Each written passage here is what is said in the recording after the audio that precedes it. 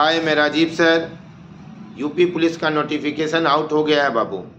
Simple सा बता है कि जो 2023 में जॉब लिया तो अच्छी बात है। जो 2023 के बाद 24 में जो ना लिया, वो बुरी बात है कि पूरी तरह से मेहनत करना है और पूरी पावर से, क्योंकि वैकेंसी का व्यवचार लग जाएगा 2024 और 2000 क्या 25 में। आते हैं पॉइंट पे। यूपी पुलिस का नोटिफिकेशन आउट हो चुका है साठ सीट का। इसमें क्या है? इसका फॉर्म भरने का डेट है सत्ताईस बारह दो हज़ार तेईस। सत्ताईस बारह दो हज़ार का, तेईस और इसके बाद इसका फॉर्म का अंतिम डेट है सोलह एक दो हज़ार चौबीस। इसको ध्यान में रखना है और इसमें जो एज है जनरल का कैटेगरी का 18 से 22 उसका एज का गणना किया जाएगा एक सात दो हज़ार तेईस। एक सात दो हज़ार का, तेईस से, जो 18 साल से कितना? 22 साल के बीच में होंगे।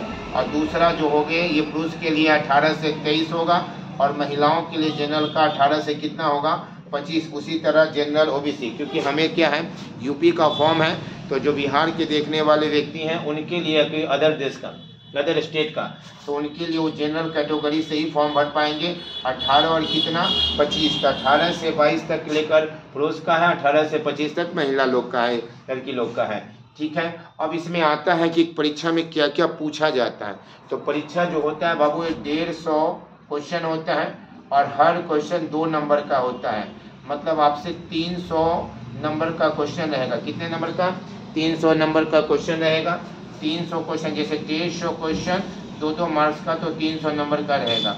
और तीन सौ में आपका चार चैप्टर है। कितने चैप्टर है बाबू? चार चैप्टर है। पहला चैप्टर जो है आपके साथ में है। इसमें मैथ भी है जीके जीएस भी है, हिंदी भी है, हिंदी भी है इसमें, और साथ में हिंदी के साथ बाबू जो है आपके, इसमें रीजनिंग भी है। मैथ रीजनिंग जीके जीएस का दबदबा है मैथ रीजनिंग जीके जीएस साथ में हिंदी का है। बस ये सब्जेक्ट हैं, पूरा कर लिए, लेकिन याद रखना है फॉर्म का फ़ी जो दिया गया है, आपके लिए चार सौ रुपया दिया कितना दिया है?